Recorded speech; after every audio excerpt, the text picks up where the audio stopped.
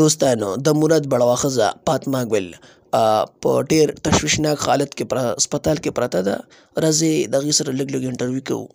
السلام علیکم زم تاسو فاطمه ګل څنګه مینوالو تاسو وعلیکم سلام مراد بړوا دا راته وایي چې څوک څوک دې چپ کړي فاطمه ګل نادیا ګل ابړوا مونږ له سرپرایز کله راکوي کړی تاسو ان شاء الله مونږ په نوې کال باندې سرپرایز درکو الکه توتی ګله دا سرپرایز څه شی دی خا لکه لوبي بس سٹارټ شي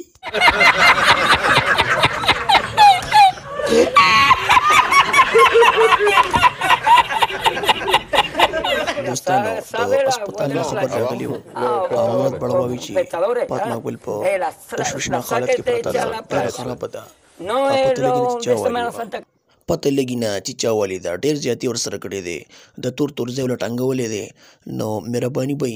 چې فاطمه ګل ته انصاف میلاو شي او